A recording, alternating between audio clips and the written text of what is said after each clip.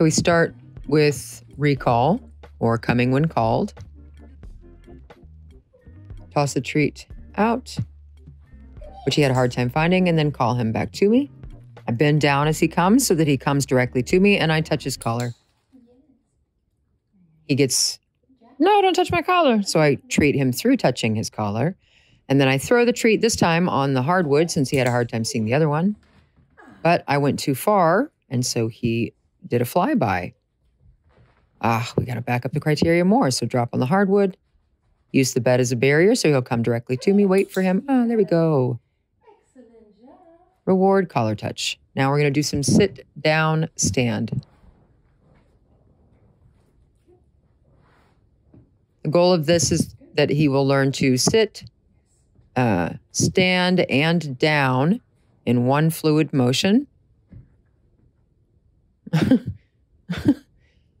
he still gets uh, very, you know, excited when he gets close, when he's in close. Oh, very cute.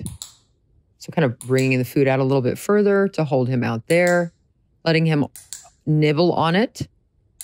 So, it takes him a little longer. He has to hold still and clicking for him standing. Oh, look, you can also stand still. He offers to sit, so we're going to fold into a down by taking a treat from his nose, straight down between his little feet. That's a down, and then bringing it back up to fold him up into a sit, and then getting him to stand by pulling the treat towards my towards me. Of course, this is very exciting for him again. so we uh, that's good enough repetition. Throw a treat away to reset, and we'll start another game.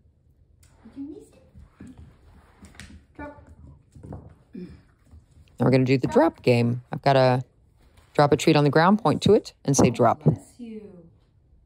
Drop a treat on the ground, point to it, say drop. Eventually, you can, he'll have possession of something or have something in his mouth. You'll say drop. He'll spit it out to come over to you, anticipating that you're going to be pointing to a treat on the ground. Um, and he's climbing all over me. I'm not looking at him or talking to him, however. I'm looking for a toy while I'm feeding him a treat. So I can redirect all of the mouthiness onto the toy. And then we'll do something playful. We'll do something different. How do we feel about weird things like this? Because people do weird things sometimes. Of course, he doesn't mind a whole lot. doesn't mind too much, but I'm also, um, you know, treating him while he's laying in my arms like this. Regular about it. Let's be regular. To encourage him to be calm about it. Very good.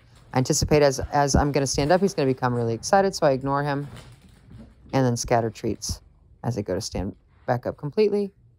Look at that! Yes. What a good baby! Scatter more treats. Good job.